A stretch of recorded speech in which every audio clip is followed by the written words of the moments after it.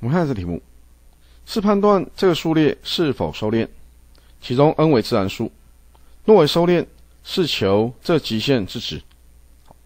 那么首先，这五 n 平方分之 n 加一，我们可以把它显示这五 n 平方分之 n，那么也就是五 n 分之一，然后加上这是五 n 平方分之一。那么这里我们可以看出。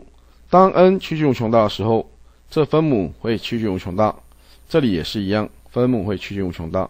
所以呢，这五 n 分之一会趋近于零，五 n 平方分之一也是趋近于零。因此呢，这数列是收敛的。